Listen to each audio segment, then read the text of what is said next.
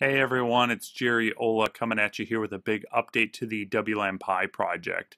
Uh, before we dive into all the new hotness and unpack all the new tools that are included in the WLAN Pi 2.0 update, uh, what the heck is the WLAN Pi project?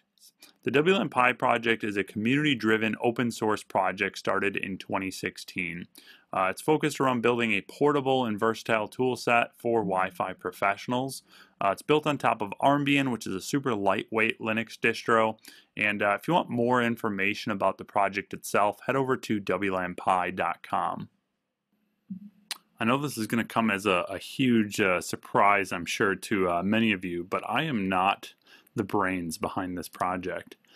Uh, there are people much smarter than I behind the scenes doing much of the heavy lifting on this project, and I am super thankful for these guys. Um, it's been awesome. Honestly, this is my favorite part about being involved in this project is the community aspect and uh, the people that have stepped up and willing to uh, contribute their their time and skills to furthering this project has uh, has been awesome. Um, these guys are also hanging out in the Q&A section, so uh, reminder to use that question pane and submit your questions, and we'll try to get those live during the session. Um, you'll also hear from a bunch of these guys and their contributions uh, during the presentation. All these guys have had a huge uh, contribution to this 2.0 update. Uh, that is everybody except for that Joel guy. Hey, hey, who who put who put Joel's name on here? I'm just kidding. Joel uh, Joel's been an awesome contributor. I always got to give him a hard time any chance I get. Uh, Joel actually did the uh, 3D printed case for the handheld edition of the WLAN Pi, which has been an awesome uh, contribution to the project. Uh, he's probably printed about a thousand of these or so by now. So uh, yeah, thanks Joel for that awesome contribution to the project.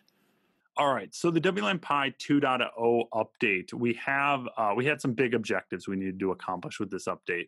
We needed to completely overhaul the development process, make it more scalable, easier to collaborate. We also needed to greatly improve the usability and uh, just refocus the overall tool set that's included in the WLAN Pi image. So what we ended up with at a high level is something like this. We rebuilt everything from the ground up revamped the entire tool set that's included in the 2.0 uh, image, also included several usability improvements, and also expanded the hardware support at the same time, being able to support other Wi-Fi adapters, and now being able to easily port the tool set over to other hardware platforms.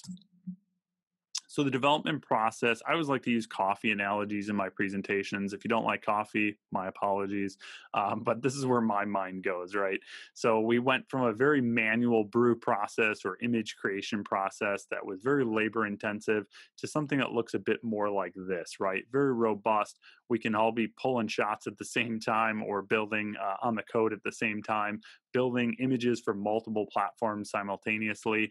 Um, so this is really where where the where we've taken things. Uh, rather than me try to explain the low level details of all this, I've asked our resident Linux guru uh, Daniel to step in and talk to you guys about that. Hi everyone, I'm Daniel Finimundi, part of the WLAN Pi team, talking to you from Brazil. And today I'm going to talk about the general development process and how it evolved. So when I first heard of the WLAN Pi, I really wanted to contribute to the project, but all customizations were done manually to an image flashed into a WLAN Pi, which made contributions difficult. We did have GitHub repositories for different features, but it was still a lot of manual work to glue everything together in an image that was ready for deployment. We're using a vanilla Armbian image as the base image for this process, and Armbian actually already provides us a build system that we could leverage to improve our process. So we dove in and we forked, forked our GitHub repository and started to customize our own image. This opened new possibilities for the team since now uh, we could automate the image generation, uh, installing and configuring all the packages that we wanted. Everything here is scripted so we can make a change and have an image built and uploaded almost effortlessly. We can also generate this image for multiple boards, basically anything Armbian supports. And this is just a simple configuration change in the build system, and we have basically the same image for this target board. This whole image generation process is good, but no one wants to reflash their SD card every time there is a new image version. Uh, that's why we are leveraging Debian packages now.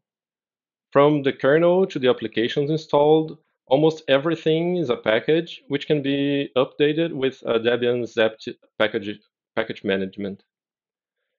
Uh, and even more than that, we we also packaged our own applications as well, like the front panel menu system, uh, Web UI, Hotspot mode, among several others.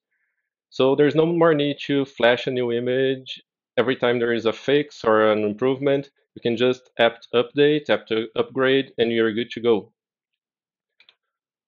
For, for some Python packages, we decided to package them into a virtual environment, which would uh, allow them to be isolated from the rest of the system. So if you eventually mess up the Python installation in your board, those applications are going to still continue working, and you can also update them with a simple pipx upgrade command. Uh, we're going to leave the GitHub page at the end of the presentation, so you can check that out. Thank you very much, everyone. Hi, I'm Colin Balance.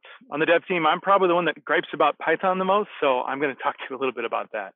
Just to expand a bit on what Daniel spoke about, we're really driving towards upgradable packaging versus system level images that you'd have to download uh, on their own. While Python system installs were working, we were sort of setting ourselves up for a bit of failure there. We're really locking the end user into our decisions and removing flexibility on their end. So um, trying to clear that path and, and make sure that everyone's happy down the future. Right now, we're starting to leverage pipx, as Daniel mentioned, which allows installing and running Python applications in isolated environments. Uh, to be honest, it feels a little bit like a band-aid, so we're also researching DH virtual M to provide isolation sort of in a more system integrated manner. Think about doing something like an apt install or an apt upgrade just to update profiler rather than having to deal with a pip install. Thanks for the time. All right. Thank you, Daniel and Colin, for that update on the development side. Uh, next up, I want to talk about the changes to the tool set. And uh, as I mentioned before, we've really gone through and revamped the tool set. What I mean by that is um, I don't know about you guys, I'm a big fan of less is more. And what we're finding with the 1.9 image is as we continue to update things and add more and more tools to the uh, base image, uh, it was getting a bit bloated, right? There was a lot of tools on there, and it was a bit, you know, challenging to try and keep up with of what tools do what, and you know, what are all the different kind of use cases here, and which tool do I use when I want to test network performance? You know, there's just a lot of things that kind of did the same thing, um, but none of them were really that polished. So what we wanted to do was focus in on the core tool set uh, and create a core tool set that really uh, we could create proper documentation for and we could really polish up from a usability standpoint. Um, so that's a big focus for 2.0. Um, we're going to continue to work towards that as well and improve that documentation piece now that we have that kind of core tool set. So hopefully you guys appreciate this. Um, you might look at the image on the left and think, you know, there's a lot more tools there than the one on the right, and that is somewhat you know intentional right? We're, we're focusing on a core set of tools and making them as user friendly and as usable as possible. So to go through all these different changes that we've got on the toolset side, I've actually asked the developers to, to step up and actually uh, walk you through those changes and the reasons for that and uh, do a little demo for you on all these new updates. Hello, my name is Josh Schmelzle and I'm going to cover some of the updates to the front end and profiler. We wrote the new web UI for the front end using a Python framework called Flask. This lets us run Python code to pull in data, manipulate it, and send it to the front end. So we've pulled in some of the network information scripts that gives us stuff like reachability stats to the internet, public IP information, Ethernet, IP config, and LLDP and CDP neighbors if it's present. The profiler got some big changes under the hood, but for those that don't know what the profiler is, it's a client capabilities analyzer that automates the collection of the association request frame that tells us things that the client claims to support, like 802.11 amendments like K, V, and R, how many spatial streams the client claims to support, and what channels. The big things here are the changes under the hood to support future development, like porting the code from Python 2, which is now deprecated, to Python 3, as well as packaging the script so that we can install it into a virtual environment. Alongside the front end, we've included the cockpit project, which is essentially a sysadmin tool for the web interface. So this lets us do things like change the host name, start and stop services, change the time zone, all from the web interface. There's also an embedded terminal that we can run inside the web browser. Now for a demo of the profiler, web UI, and cockpit. First thing we're going to do is go to the IP address of the WLAN Pi. We're going to go to the profiler page. Here's where we'll see the results once we profile a client. We can start the uh, profiler from the front panel, but we're going to do it from cockpit. We're going to log into cockpit using the same credentials that we would when we SSH to the device. We do need to check this box so that we can start the profiler service. When this loads, we're going to go to the services page and we'll see all of the services that run on the WLAN Pi, but we need to find the profiler systemd service. So we're going to go ahead and start it. The client I'm going to profile is a iPhone SE 2020. Should be a two spatial stream Wi-Fi 6 802.11ax client. So when the profiler starts, it will broadcast on channel 36 and use a WLAN Pi SSID by default. Um, so I'm going to connect my iPhone to this SSID and uh, we're going to grab the association request and we're going to analyze it. So we're going to go back over here to the web UI to refresh and see the results. So if we open up the text report, we'll see it in this modal view. Um, we'll see we captured on channel 36. Uh, it's a two spatial stream device. It supports 802.11ax. If we want to, we could also download the association request in PCAP format uh, to see the information elements. Um, one thing I want to showcase though is what happens when uh, something on the client changes the capabilities. So what we're going to do is we're going to put the iPhone into low power mode by going to settings, battery, and enabling low power mode.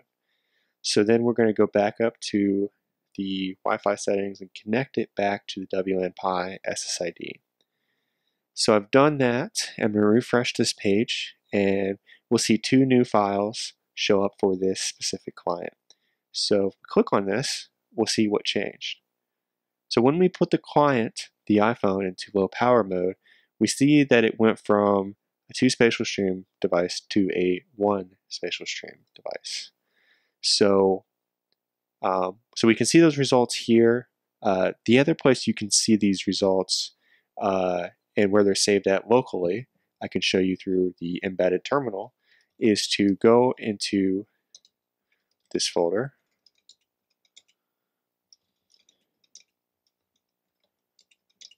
And here are the results. That's it. Hi everyone, my name is Jerry. I'm part of the WLAN Pi team. And in the next few minutes, I would like to tell you more about the features we are introducing to the front panel menu system. I will start with the buttons. Uh, if you haven't used the 2.0 image, I would suggest you go and download it because the buttons are much more responsive than ever before. You will really enjoy the, the experience of using the device. And we have also introduced a new capability for you to customize the layout of those three buttons. So you have the OK, cancel, and move to the next item. The good news is you can you can now uh, move those features between between the buttons if you have an enterprise grade switch and you're trying to trace a cable to a particular switch port or even to a particular switch in a switch stack, you can now do it using WLAN And the WLAN will show you the switch information, the port information. And even if you don't have an enterprise grade device, you have a Soho switch with no CDP, no LLDP whatsoever, uh, we now have a new feature called uh, Port Blinker, which essentially is a feature which, which will let you identify the switch port on the on the far end side of the cable. This is WLANPi running the latest 2.0 image. And the first feature I would like to show you is the CDP neighbor detection. And from there, you can see that my switch does actually support CDP. I can see the name of the device. I can see that I'm connected to switch port number two. There's the IP address of the switch, the v native VLAN being used by the switch, type of the switch, and even software version. If you have an unmanaged switch and you still want to understand where does the cable go, which particular switch port, you can get this information by using the port blinker capability of WLAN-PI. We'll go to port blinker and we'll start it. What will happen is the WLAN-PI will cycle its port up and down repeatedly, which means that when you watch the switch port LEDs on the switch, you can now see that port 2 is going up and down, and that is the port we are connected to. We have also added a new server mode, and this is a special mode which enables all the basic network services like DHCP, TFTP, and we also added Wi-Fi console for wired and wireless console port access. And there will be more capabilities coming uh, later on. We're thinking about NTP server and similar similar capabilities. Uh, this mode has a safety safety check built into it. So after you reboot the WLAN-PI or after you remove power and reconnect the power cable to the Pi, it will automatically switch to the default classic mode. This is by design. We don't want you to connect uh, another DHCP server to your production network or to your customer's production network. Uh, so this is there for this particular use case. And when it comes to use cases, how you can use the server mode, this is really exciting. You can now use it for your lab uh, builds. You can use it for proof of concept setups. Uh, the way I, have used this one is I've, I've used it to upgrade my switch, for example, in the lab. You can upload the TFTP image to the Pi, and from there you can you can upload the image to to the switch, reload the switch. There you go, running the latest release. Uh, the other use case would be option 43. On Cisco APs, you can use it to, to point the access point to a cloud-based controller, for example. Or the, the other special option 43 would be the one we use for Mobility Express or embedded wireless controller conversion to lightweight mode access point. You can easily do this. You switch the Pi to server mode. You tweak the DHCP server configuration, you add the option, and that's it. The access point will get the option, it will reboot, and it will convert to, to the lightweight mode. So at the moment, we are in the default classic mode.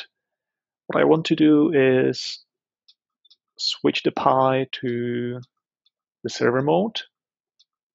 Let me do it right now the Pi will reboot, and after the reboot, you will see that all services are enabled. There will be a small warning message about the DHCP being enabled, and from that point onwards, you can you can use it to stage your equipment, to upgrade your switch, to upgrade your AP, or any any similar use case.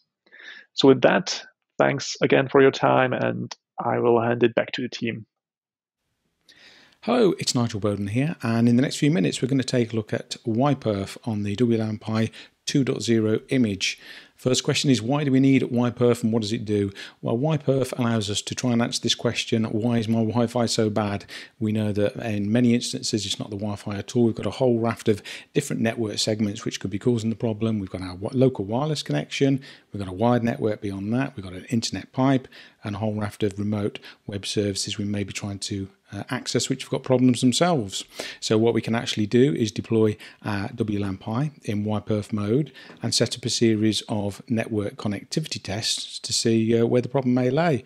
Uh, we can actually set up, um, we can look at the connection stats for our local wireless connection between the WLAN-PI and the access point. We can do maybe pings to our local gateway to see if the wired sections are working okay. Uh, we can maybe set up an iPerf uh, server on the inside of our network and see if uh, the end-to-end network before we hit the internet looks good.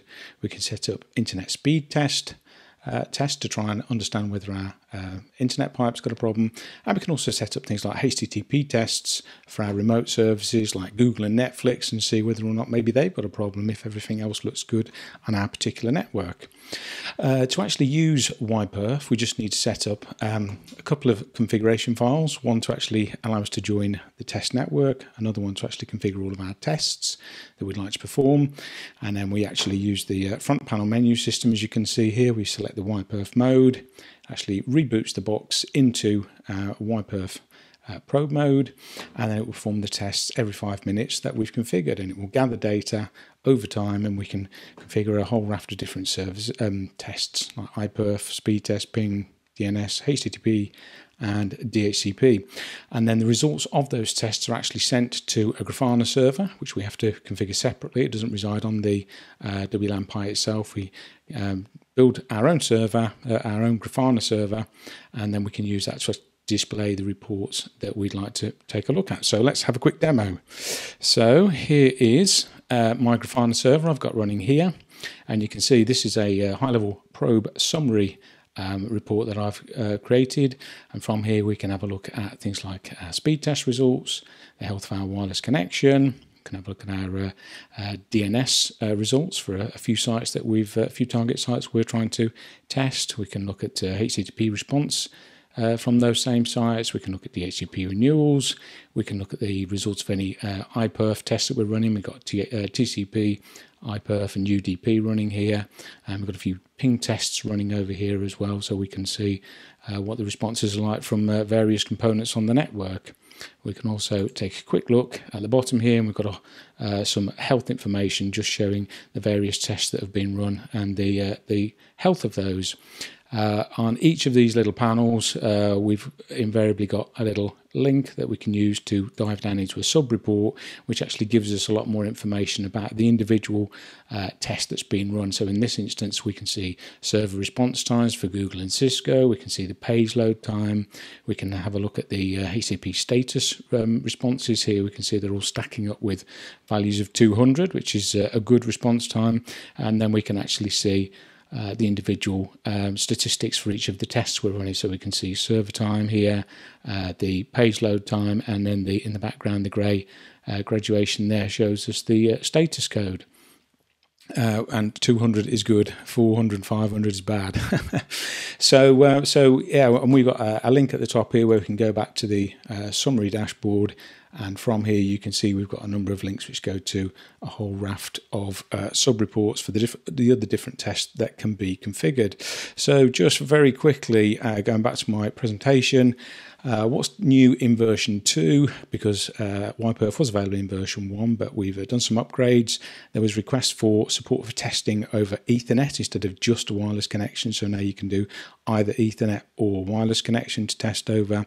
Uh, we can now, as you've seen, report into uh, Grafana, and we have to use Influx as a back-end database for that. Uh, formerly, um, or previously, we only supported Splunk, but now we can support both of those. I've improved all of the uh, the canned dashboards, which are, are, you know freely available for you to import once you've built your server. I've got a little bit of remote config support that's uh, we're bringing in now and testing. Lots of improvements in the logging information if we need to debug anything, and also lots of uh, bug fixes and performance improvements. Uh, if you want more information about WiPerf, I've got a little microsite there at wiperf.net. Uh, you can have a look at our GitHub site if you'd like to have a look at the code, and also you can always get to all the information you need from the uh, WLANPi website at wlanpi.com. Well, have fun with WiPerf. I'll see you soon. All right. Well, hopefully, with that, you guys can appreciate some of the work that's being done on the V2 update. Looking forward to hearing your feedback on that. Uh, wanted to leave you with uh, some roadmap stuff of what's to come with the WLAN Pi project. So one of the big changes that you can expect to see is some changes with the hardware. Um, so the Neo 2 single board computer that we've been using for the past several years is actually no longer being manufactured. You can't buy it anymore. Um, so we're looking at expanding the support for other single board computers. Um, we've been testing out several different ones that uh, are, are looking promising. Um, the one that's probably looking the most promising right now is the Rock Pi E. Uh, you may not want to go run out and buy that um, yet. We're, we're still looking at some different options there. Um, but yeah, that's uh, looking like it could uh, prove to be a, a nice replacement.